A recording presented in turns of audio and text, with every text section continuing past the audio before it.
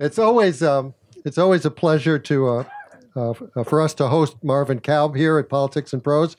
Uh, I've lost count of how many times uh, Marvin has been at PNP for book talks. Uh, this may be his eighth appearance, but I could uh, be missing some. so let's just say that we never get tired of having Marvin. of course, he's familiar not only to many of you, but to countless people across our country and around the world certainly to people who follow the news and still subscribe to the belief that journalists play a vital role in keeping the public informed, in speaking truth to power, and in safeguarding our democratic values and institutions.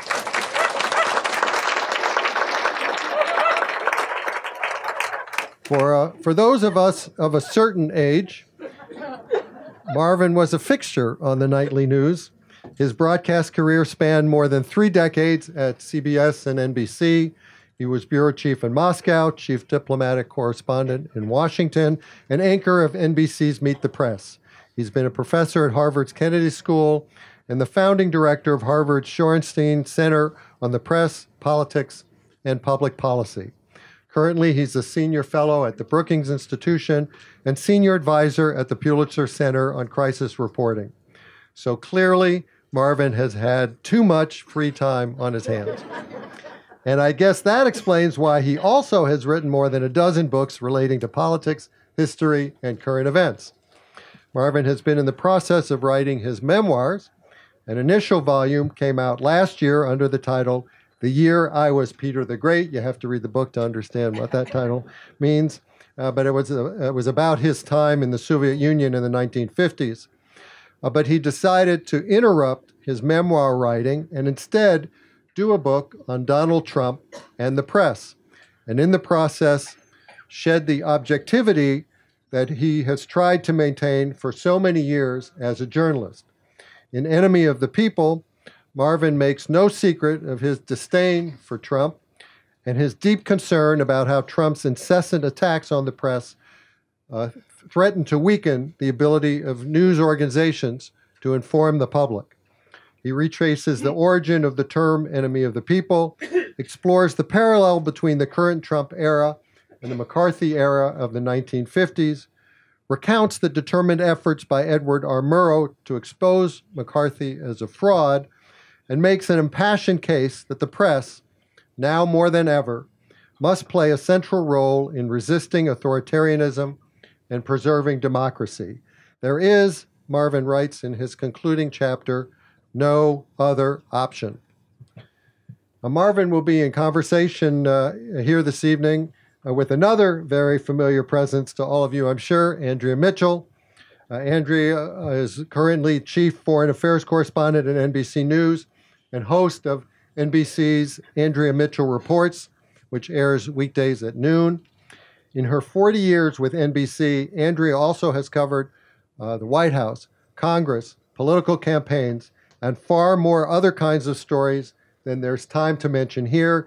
She's as experienced as they come and one of the best there is reporting today. Ladies and gentlemen, please join me in welcoming Marvin and Andrea.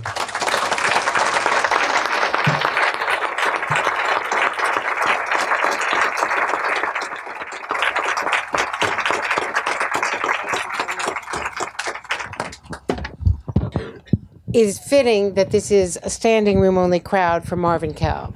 And uh, I have been honored since 1994 to have the title that he once had at NBC, one of the, t- one of the many titles he once had. And I learned so much from him.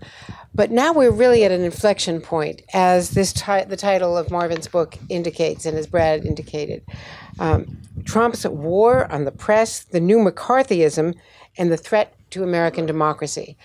And it turns upside down everything that people like Marvin and a lot of, of your other colleagues in broadcast and print have always felt was the parameters, in fact, the paradigm of journalism. Objectivity, David Brinkley once told me, is an impossible challenge because just by the choice of what you decide to put on the 22 minutes of the nightly news, you're making an editorial decision. But within those confines, you are trying to achieve a certain balance. And I always thought of myself as a, on the one hand and on the other hand, journalist. What has happened to change your mind? And how do you think that that is a, really an objective lesson for all the rest of us?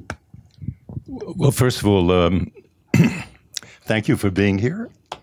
Um, thanks to Politics and Prose for setting this up and hosting it. I am slightly in awe at the moment looking at this crowd. It is extraordinary. Um, this was not an easy book to write. Um, it went against the grain, as as Bradley was saying, you were saying.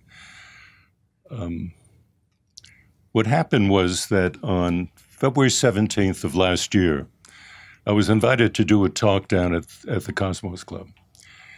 And it was about the history, it was supposed to be about the history of journalism over the last 50 years. Please hold the mic. I'm not used to these things. I'll do the best I can.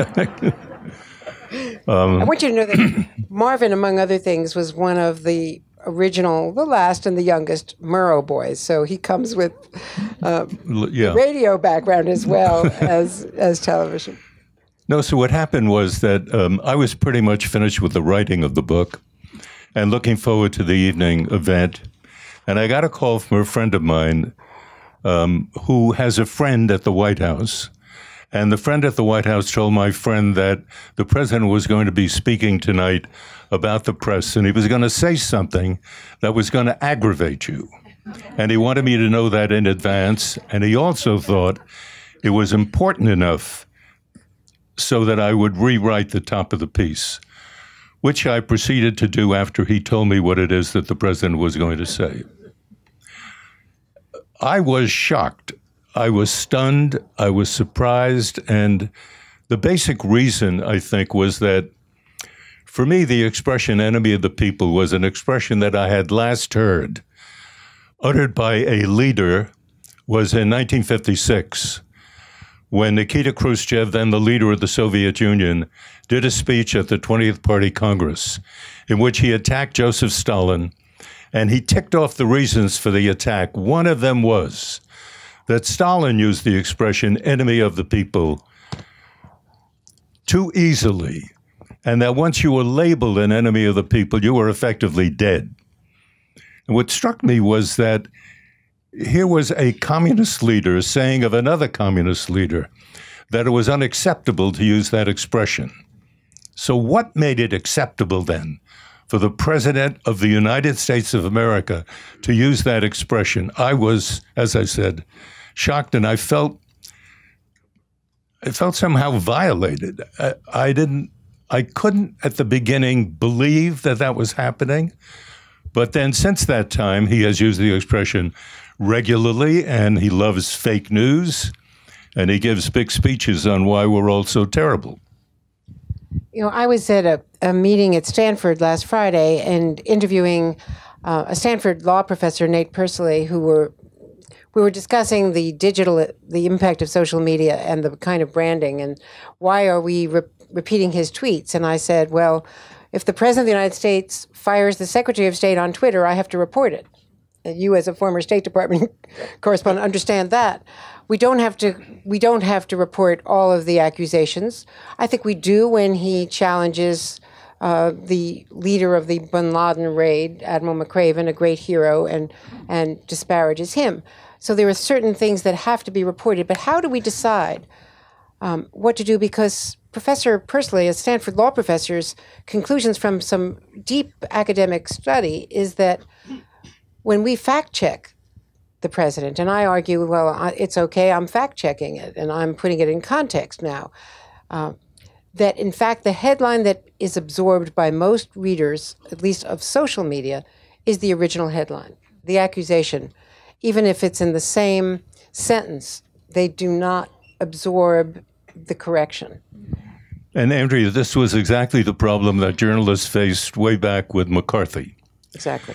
Because McCarthy, when he started in that, he did a, a speech in Wheeling, West Virginia in February of 1950. And in that speech, one of the things he said was, pulling a sheet of paper out of his pocket, he said, I have a list here of 205 communists who are working at the State Department. Well, the lead that the AP put out was Senator McCarthy, uh, whatever said that there were 200, and there was the lead, and there was the story. And it wasn't that the press said, wait a second. They didn't say that at all.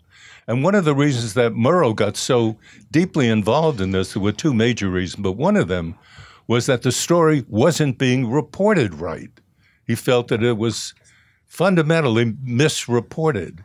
And the other reason was that for Murrow, who had covered the rise of fascism in Germany before World War II, one of the things I remember him saying was that he knew Germans in, say, 1935 who were wonderful people. And they read the same books that Murrow read, and they went to concerts with him. And Murrow felt very comfortable with them.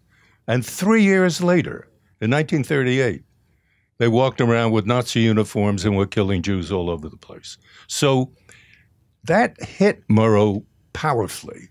How do you take an advanced society and turn it around so quickly that good people, people you are raised with, went to school with, suddenly are transformed?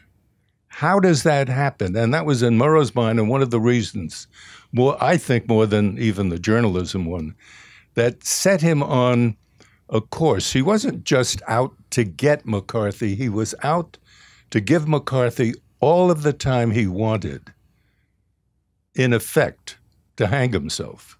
And in the great broadcast that Murrow did in March 9th, 1954, in that broadcast, a 30 minute broadcast, Murrow had McCarthy speak. You could see McCarthy for 22 of those minutes.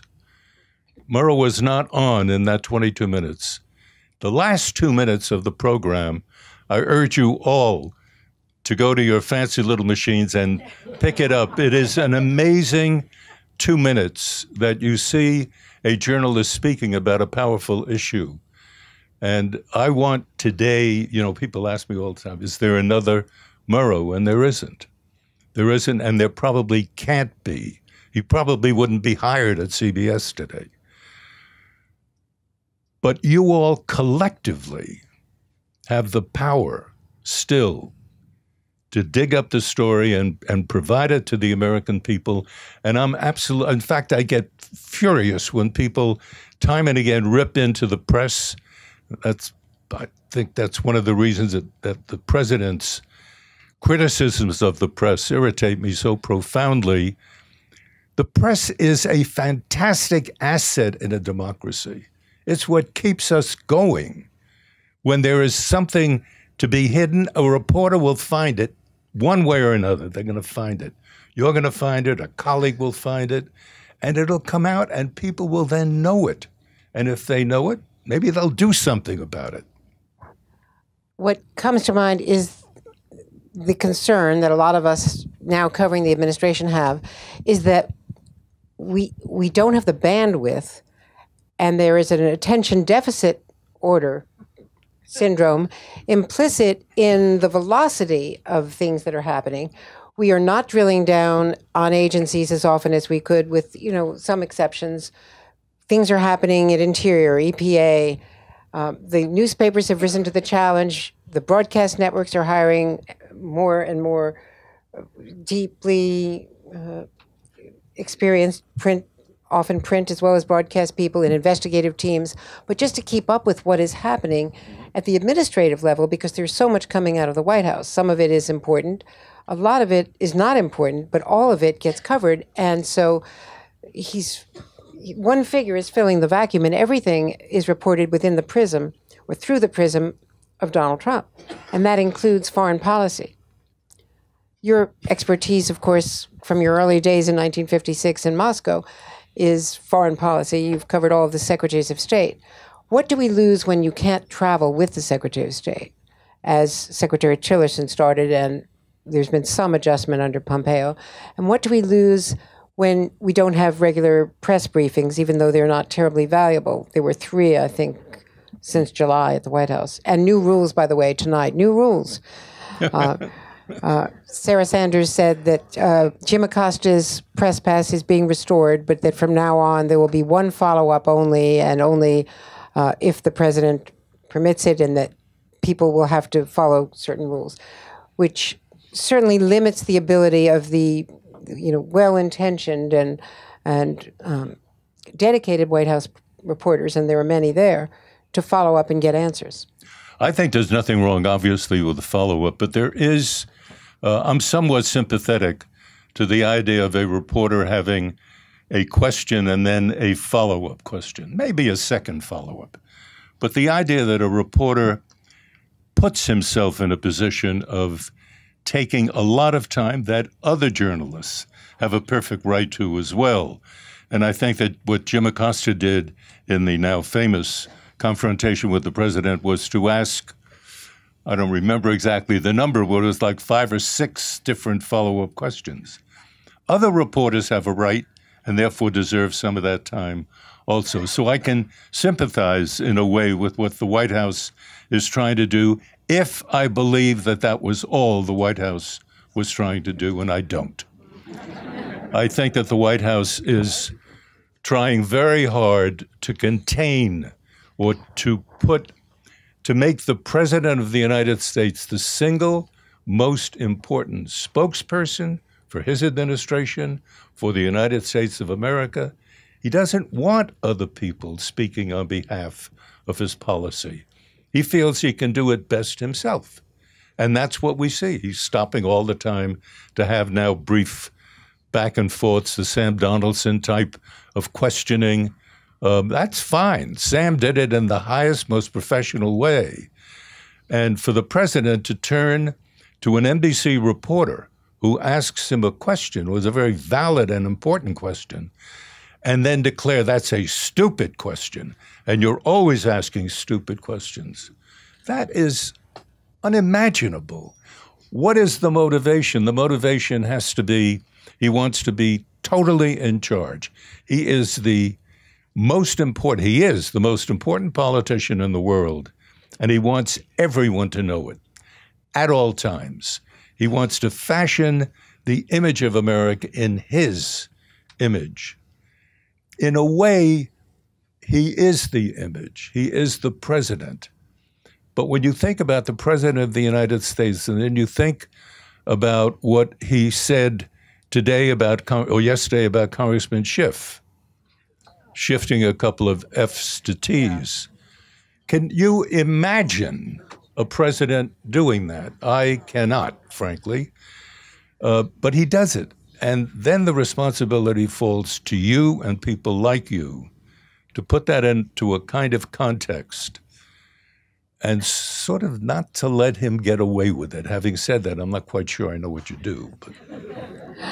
uh, well, one of the problems that we have is facts. And as uncomfortable as it is to be the person who is always saying, the president said this today, but it was wrong and these are the facts that's not a role that I ever wanted to be in. You always wanted to put things in context, and presidents make mistakes. We all, you know, people misspeak. We do, they do, but there was there is a deliberate intention of just ignoring facts, and it goes for press secretaries as well.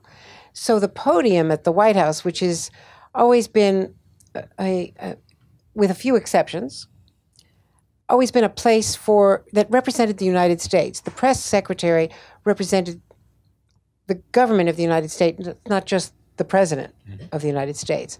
And so the White House was a, a fairly sacred place in, in a way, in terms of truth. I covered Jimmy Carter, Ronald Reagan, Ronald Reagan for eight years, Jimmy Carter as the fill in. I was a junior correspondent. And during Bush 41, I was on the Hill, but had a lot of interactions with him you know, I was the kind of person you'd send to Kennebunkport for Thanksgiving weekend. Um, and none of these presidents, Bush 43, I covered the White House, I was the chief White House correspondent with Bill Clinton. None of these presidents enjoyed tough questions. My experience has been that all of them, Obama, Clinton, both Bushes, felt that it was a necessary part of the job, of the role, and there was a higher purpose, a constitutional purpose of interacting with the American people through the press. And yes, presidents have gone over our heads, but with the use of local media, radio, and now, you know, social media. But in this case, it's not just using social media to go over our heads, it's simply misstating things and then labeling any contradiction as fake news. So he is the best brander we've ever had. Mueller is a witch hunt, and now 46% of Americans believe that's the fact, according to the exit polls. We have even, you know, higher negatives than mm-hmm. than Bob Mueller, and it becomes dangerous when you go to a rally, as my colleagues did in 2016 in an open carry state in Alabama, and you're in a huge arena, and from the podium, the candidate is shouting out, uh, "You see, so and so from NBC over there." Uh, you know, she's part of, you know, she's the problem. She's the fake news. And at one point, she's written, Katie Tur, my, my wonderful colleague, has written um, that the Secret Service jumped into action to escort her out just because they're law enforcement officers and we're concerned about her safety. So there are ramifications. It's not an accident that journalists were targeted by the pipe bomber. Well, and um, let me try to carry that one step further. The subtitle of this book um, is The Threat to American Democracy. My gut feeling is that we can talk about ways in which journalism has changed over the last 30, 40, 50 years, in my case, 60 something years. I, I remember when and I see now. That change we can live with. We can ride with that because it is within an established democratic context. My concern is that what the president is doing by attacking the press is attacking one of the pillars of American democracy. You attack the press, you invalidate the power of the press, you humiliate the press. You are, in my light, by my judgment, humiliating democracy. That is my fear. That when you begin to go after the press, then you go after the courts, then you go after judges, and then you go after the Department of Justice, and you put your own private lawyer in there. Um, you are you are weakening the foundations of democracy. And I have a feeling, and this is really what is irritates me more than anything and concerns me more than anything. You when you go from one political system to another, um, it doesn't happen at noon on one day. Bingo, you're now something different. It happens over a period of time when certain institutions in the government that you're used to become weakened because they're constantly under attack. And when they are weakened, you don't see it as it's happening because everything looks the same. But it is being weakened, and one day it can snap. Do you know the day that will happen? No. Do you have a sense about the weakening? Yes. But we all tend to feel, because we've lived in this society for so long, that you can weaken something, but it'll bend but not break.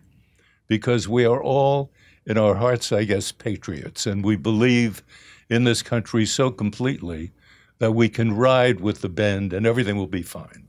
When Trump goes, America will return to being exactly what it was before. No, that is not what is likely to happen. And that is at the heart of my concern that we are now in the midst of a revolution that is slowly turning America into something that we don't know the true shape of as yet, the contour of the heart of it as yet. But in my gut, I, not in my, I mean, I can see it, you can see it, we all can see it, but we feel it without knowing where we're going to end up. And you can't know where you're going to end up. We used to have a, a professor at, um, at a small place in the Northeast that I know that, named Crane Brinton, and he used to teach the French Revolution.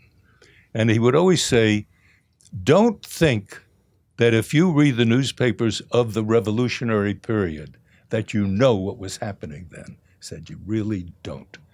He says, You need 20, 30 years before the system has changed. And we can look back and say, Ah, That's when it turned. I wanted to go beyond the media and ask you, just because of your vast experience in foreign policy, what you see happening. When the president went to Paris, a former national security official said he was sitting in his hotel room instead of going to the cemetery that day, but nobody had asked for a bilateral with him. He had one meeting with Macron. And it was so extraordinary because anytime the American president shows up in a major capital at a summit, at a gathering where so many leaders are, everyone is knocking on the door. They want their moment with the the president of the United States. But after the NATO meeting and after what happened in Helsinki and after what happened in Singapore and after uh, certainly what happened uh, in Canada with the way he treated Trudeau, um, nobody was asking to have a meeting with him. I find that to be amazing and frightening, don't you?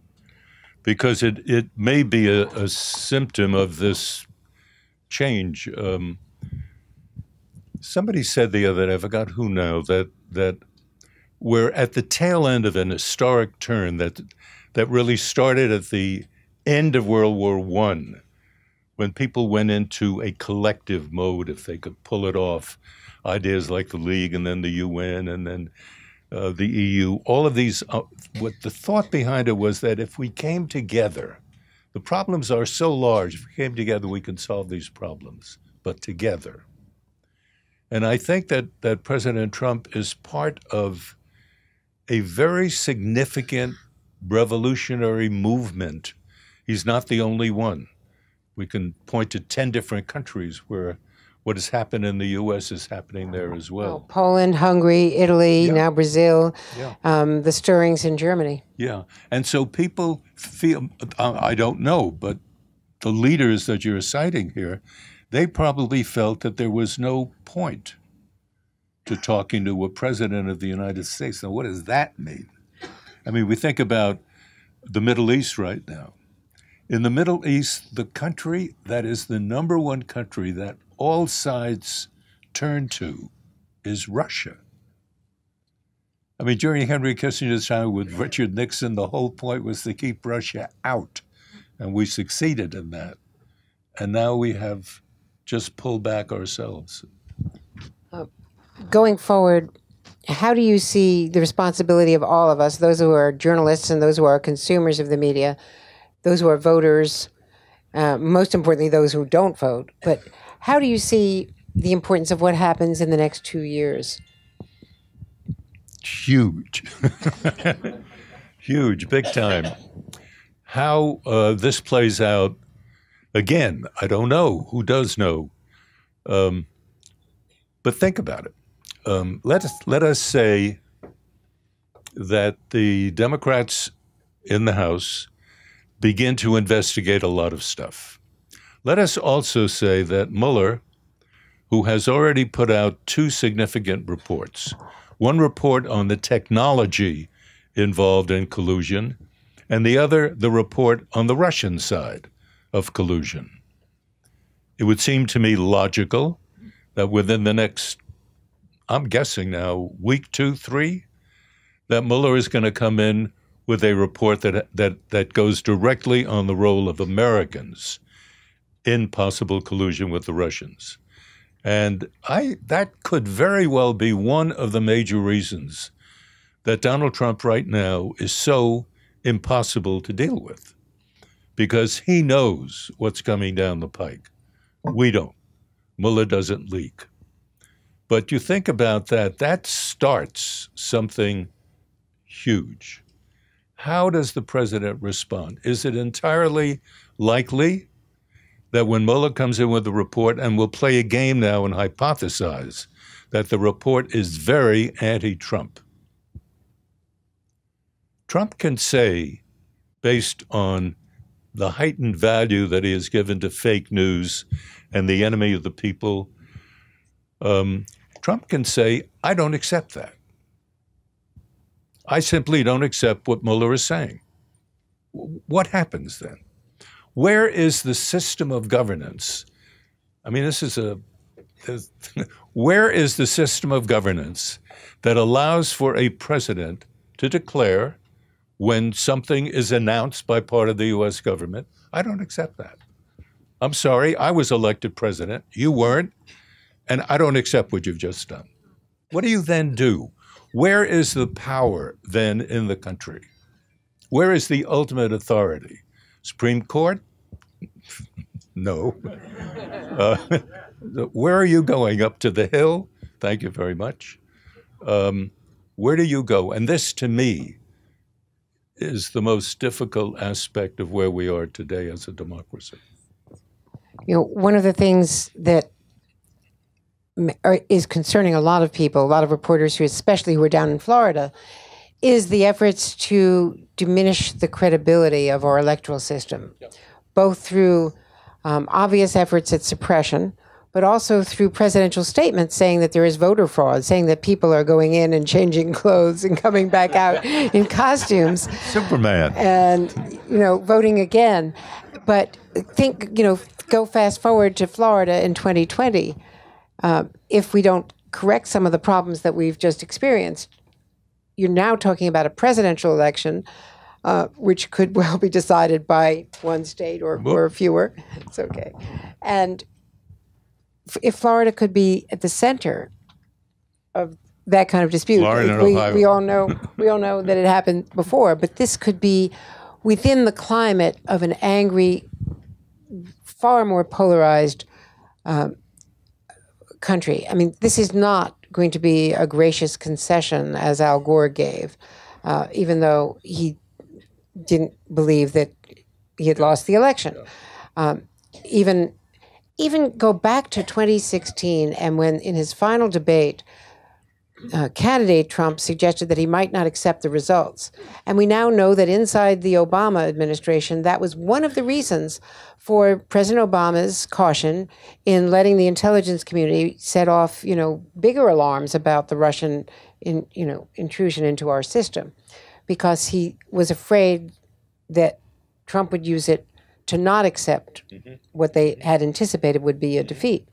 So just imagine going forward to 2020 if for some reason he runs, he loses, and won't accept the verdict. And you were asking before what over the next two years? You're talking about something at the end of the two year process, right? And I was trying to suggest something that could happen within the next month or two. In other words, we are in for a very bumpy ride and exactly how, where the road leads to exactly, I don't think we know. We know the broad contours of the argument, but the pieces are um, unknowable except at this point in terms of speculation. And the speculation, I think, is sound when you worry about what it is that is on the president's mind. It is, it is I'm not aware of any president we've ever had in this country um, who is examined as much for his policy and style as his mental approach to reality. Now, I'm not pushing this too far. I'm simply raising it as an issue because I have heard it and you've all have heard it. There is a question about how far he will go in pushing what he thinks is right and to what extent is there a countervailing force powerful enough to say, no, you can't do that? And that is that's at the heart of my concern. And for me, it starts with the press. It always does. And when you think about the expression enemy of the people, this is not a new expression. It goes back to Roman times. Nero was the first recorded enemy of the people. And then you can go through history, and wherever you find a troubled time, and you have the reporters or the dissidents on the edge, sort of circling the problem and trying to figure out what's going on and speculating about what's going on, and the person in the middle doesn't like it, then you're an enemy of the people. And depending on his power, he can either kill you or something short of that, so uh, cut into your standing in society that you lose everything and you're fake. I mean, everything that you've stood for all of these years suddenly is seen by 40 some odd percent, whatever it is, as fake. Where do they then go for the truth? What becomes the truth? In other words, we're at a point now where fundamental values and questions are up for consideration. Well, one thing that does come to mind is that in this new election, in this election, there are new members of Congress in both parties, uh, more Democrats one than Republicans, but they are younger. Many have military backgrounds. Uh, many have been used to a different kind of leadership, dealing with real problems, life and death issues, and um, I. Some have suggested, and I've talked to a lot of these people as they were running in the campaigns Many are women, and a, a record breaking number, as we, we know, more than 100 women. And so that's where I am putting my. Um, that's where I'm putting my my hopes, and you know, also on the press being as persistent, uh, despite the disparagement and despite the effective, very effective way to try to diminish the impact of whatever fact telling uh, we persist in doing. I just want to say, um, you your prescience in writing this. I mean, you were one of the first to see it and to produce this book, and it is it is a a call to it's a wake up call for a lot of people, and uh, I for one want to thank you someone who has followed in your footsteps and learned a lot as you have mentored many people. Marvin Kalb. Um, and just a, a little bit of housekeeping. Um, you got to. Yeah, I have an assignment, which is uh, which happens all the time, but this one is in New York, and uh, there there are there's only one flight left, so I'm gonna. There are a lot of questions here. A lot of you I know want to ask Marvin questions, and he and Brad are going to uh, manage that as as I know you can. And so I'm going to run to the airport to be on the Today Show in the morning. But um, I hope with your indulgence, it's been a real privilege to be here with you tonight.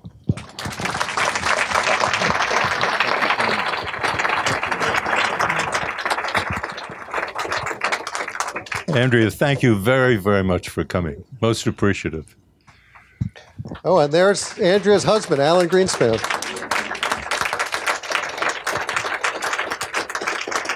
Alan and I went to George Washington High School together in New York City.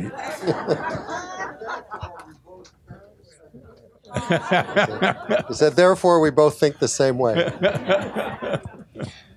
and I'm going to sit in this chair and I guess audition for NBC News, right? This, is, this is, the NBC News chair. All right, if you have a question, um, we have one mic today, uh, so please line up over there and first question. Yeah, um, you've alluded to this a little bit, but something that's been bothering me is that I feel that because the rest of us, not including Donald Trump, are operating on the basis of law and decency, that we're at an inherent disadvantage fighting against somebody who sees no rules. So, how do we deal with that? I think we keep on fighting, right? I mean, what what would be the point of abandoning the fight? That would leave him in the ring and nobody else to take him on. That is really, and I, I know that I'm saying this as, as an ex journalist, but I truly believe that when journalism is active, when there is freedom for inquiry, for asking questions, for pushing, and Jim Acosta did it perhaps excessively, but what was he trying to do? Get answers. Um, that is where that is the um, that is the area of combat. It is the the heart of of power, and then all of these guys and gals running around, throwing little gentle darts and sometimes very tough darts. Each one of them a probing question. Answer. Get at the truth. And what I was saying before is, in my judgment anyway, um, um, at the heart of where we are today as a nation. We are struggling with fundamental values, such as a search for truth. we might have been, all of us in this room, raised to believe that we knew it, but maybe now we don't. So we, you cannot abandon the struggle, is what I'm saying.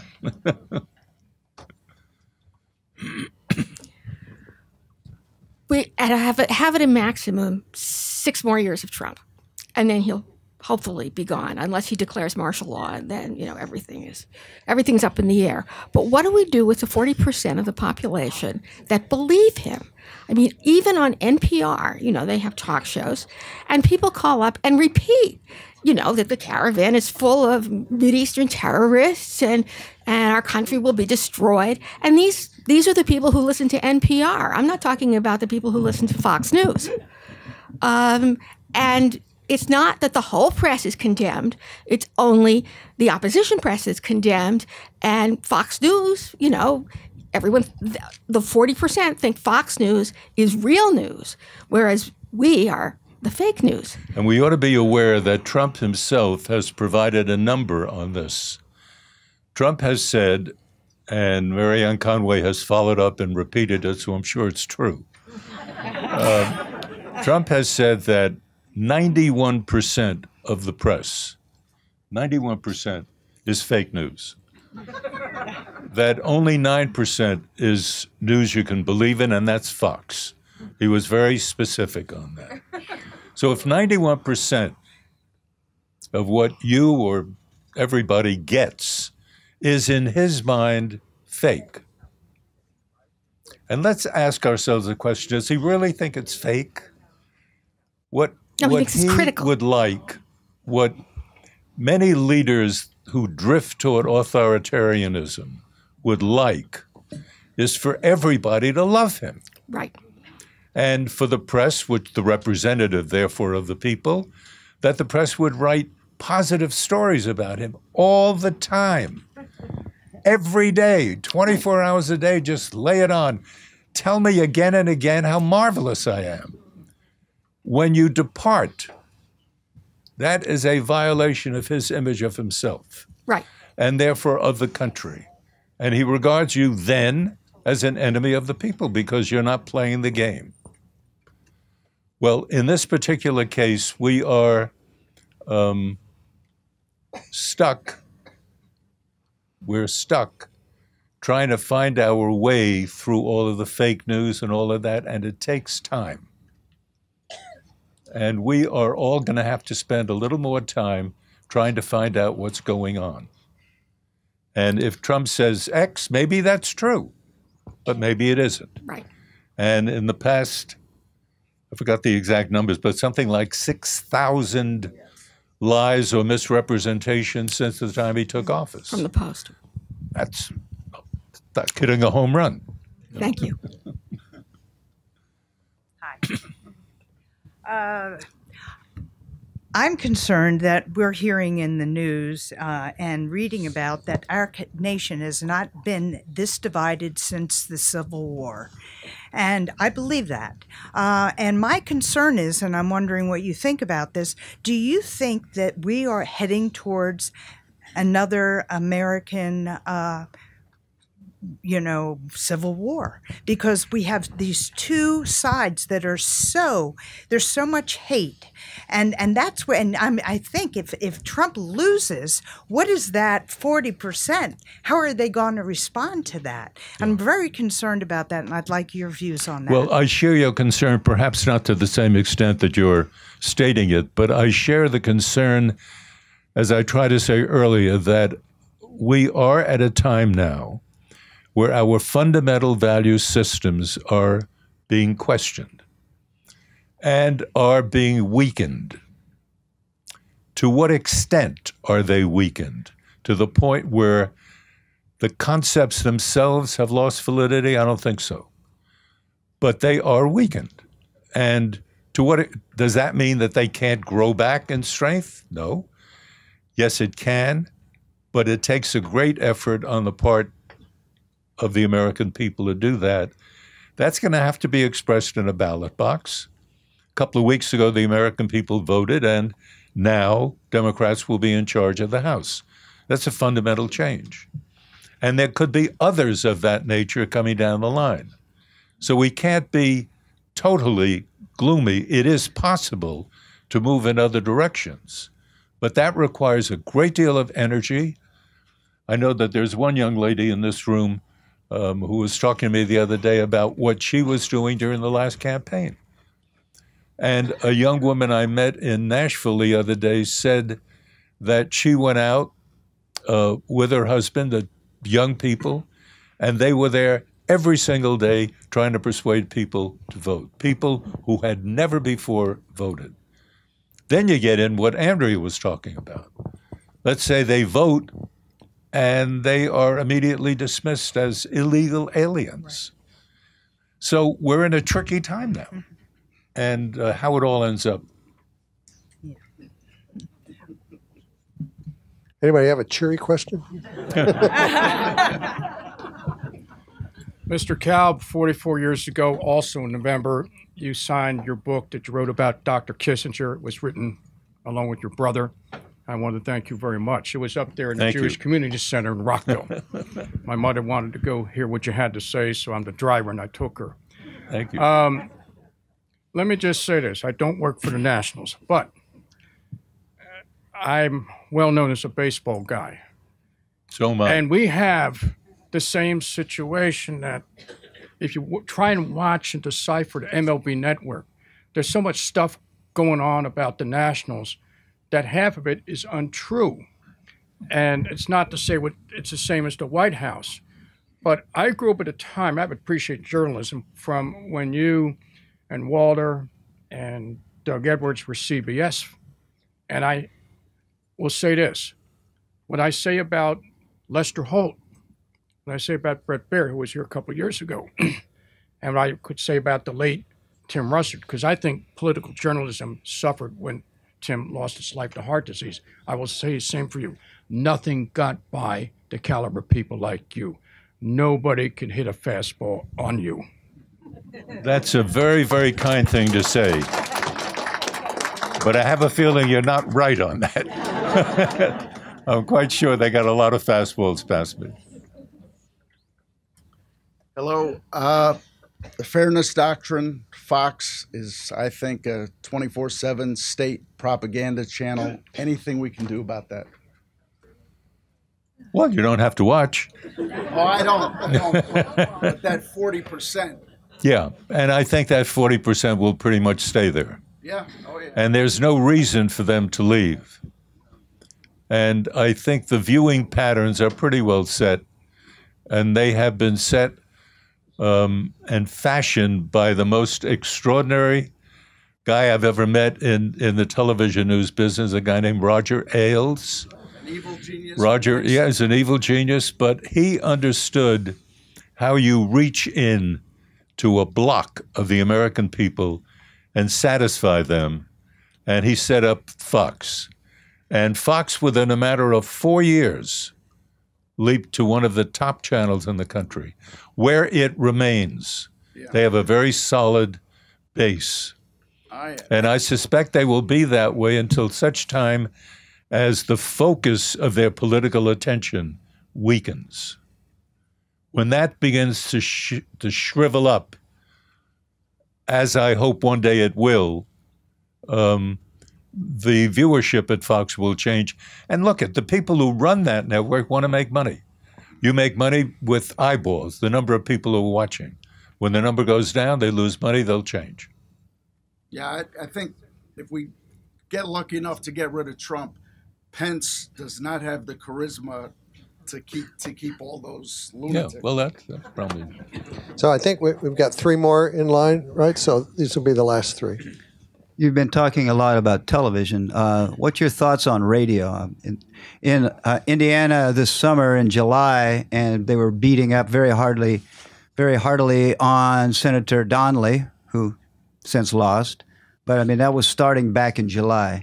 Uh, friends said people who used to vote Democratic now are being influenced by Rush Limbaugh, Gene Beck, or Gene Beck, and sorry, others like that. Can you comment on those people as opposed to just Fox, please, and and their impact and the impact of radio? Because Fox of- News also has taken over Yes. radio in many, many places. Yeah, and that's a good point, and thank you for raising it. The um, the power of right wing radio has been there before Fox. it's been there a long time. Fox gives it new life. And so people like Rush Limbaugh, my, I don't know about the numbers here, but I remember about 20 years ago, he had 20 million people tuning in in the course of a week. That's phenomenal on radio for one station to have that. He still remains the number one guy of that type on radio. But there are a lot of others because of the very nature of the internet. There are a lot of small stations. Um, Breitbart, for example.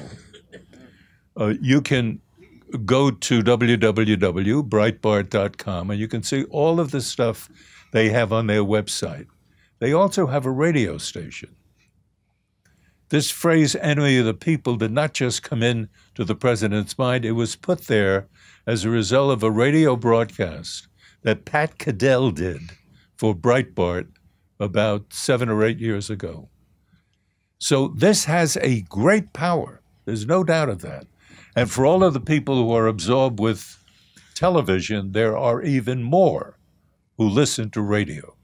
And, and what is the role of hate in this? It seems like so much of this is based on hatred and anger. Can you well, comment on that? that is there for both radio and television. Yeah. I mean, they, they, yes, yeah, yeah, okay.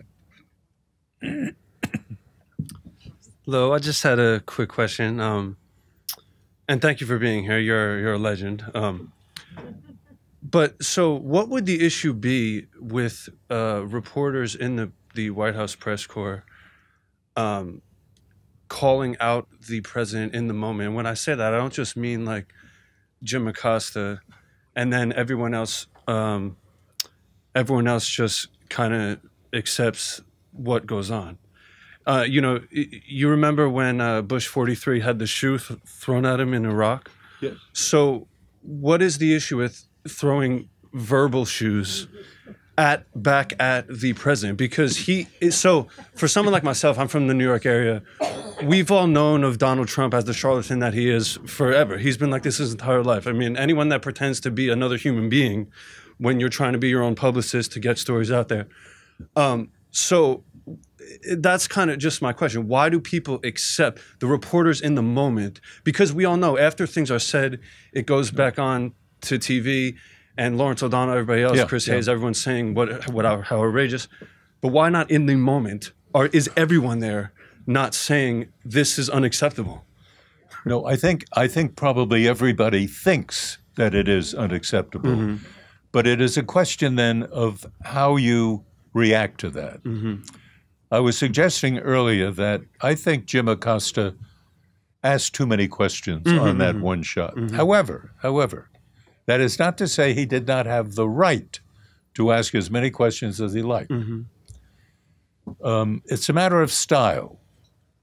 Uh, somebody would ask um, a president a well thought out question and be ready with a follow up, and that's fine. It's even good to ask a second follow up.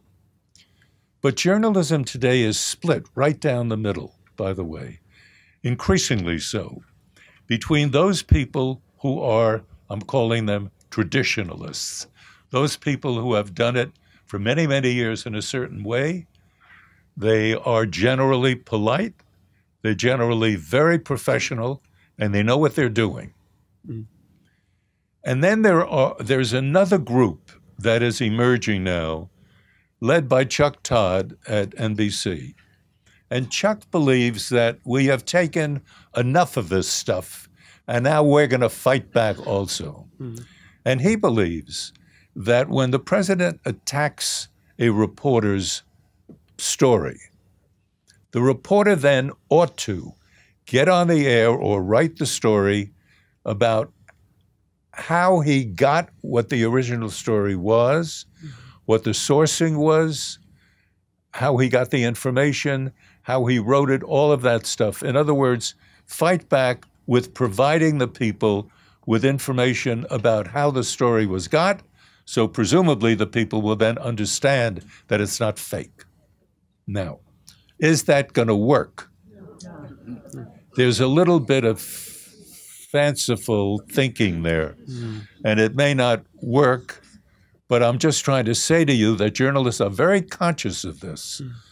And, and they themselves are, are split down the middle now on how to handle it. Mm. Thank you. Okay, we have time for one more question here. Okay. Um, well, I have a little follow on to that one. My fantasy was that when Donald Trump says that's a stupid question, and the reporter in some fantasy situation stops, then the next reporter asks the same question, and the next reporter asks the same question until he answers the question. I mean, really, it's just insane to be like shut up by him when he's making a really absurd and unfair response. Okay, so that was not what I, I wanted to ask you. Do you? You think that's possible, Marvin? Um, I think it's what's happening in a way. Let's say that a reporter asks a question, the president says it's a stupid question. The president then goes away, gets onto a plane, and flies somewhere. There are reporters waiting for him at the other end.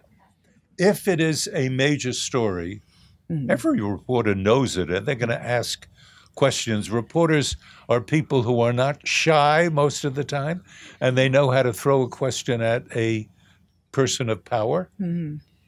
Um, so Trump probably feels that he's being asked that question over and over and over Yeah, again. Yeah, but I think in a press conference, when But the you're TV's thinking- on it, right then in the press conference where he cannot get away. yeah, with I have a saying feeling that reporters, each reporter has his or her own, own, own question. ego and wants to ask a question. And There might be a in- in few guys who want to support the, somebody. but I, but I think it's a nice thought. Okay, Okay, what's- what's the- your question? My, the question was, do you think it's possible that any of the Fox News reporters might start seeing what's going on? That has already st- begun. Okay, but That I has mean already more- begun. Okay, because it seems to me that you know no one in the fake news is going to convince anybody who's a Trump supporter Yeah. to change. So the only people who might would be Republicans or Fox reporters Yeah, who have no, that's that's a very good point, and all I can say is that it has already begun. There are about three or four of the lead anchors, Mm-hmm. not just ordinary guys running out to get the news. Mm-hmm. The anchors themselves have begun to question what management is doing. The problem with Fox, I used to do commentary for them years ago. It, in the daytime, they are more or less the same as everybody else. More or less. The problems begin at night. And management put three people in there, eight to nine, nine to 10, 10 to 11, who are there to play to the base. That's where they get their money, that's where they get their support. So And those three people, led by Hannity, does a they do a phen, a phenomenally successful job selling a particular point of view. Now, until they get into the act, Chris Wallace and and Baier and a few people like that will not have enough clout among themselves to, to change. It ends up essentially with making money. If Fox does not make as much money as it did last week, they're going to ask themselves why. And if they decide that it's because Hannity went too far, mm. You got to pull them in. Uh, they'll be they'll change. It, it's not a mystery. Losing my throat. It's not a mystery. It's, it's a very doable thing. let's do it. Yeah. So, so Thank- Marvin, thank you this gentleman, much. this gentleman is dying to ask a question. So let me give him the mic here. I just wanted to say uh, that I'm feeling very lonely. Um, in this audience and in this uh, lecture, I've not heard, uh, I don't recollect having heard the name of a foreign country.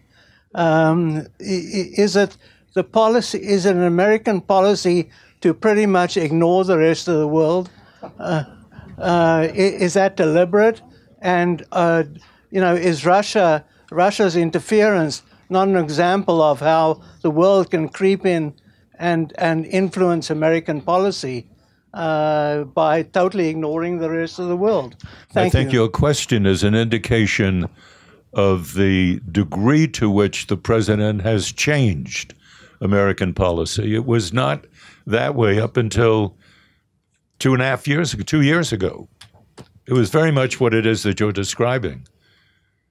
But the president is determined to change his policy, and because he is president, he can change the policy of this country. He was voted into office legitimately. He didn't come in with an army. It was a free election. He was elected by the American people. He is a. I'm sorry? All right. He was elected by the Electoral College, not the people. He was elected by the system of government that we have. And, you know, the, the, the irritation is obvious. And what happened a couple of weeks ago in the election is a powerful indication that there are a lot of people in this country who don't like the way it's going and they want to change it. Will the president accept the change that I think perhaps is inevitable? I mean, there, there is where we're going to see a pretty big story unfold. Thank you, Marvin. All very much.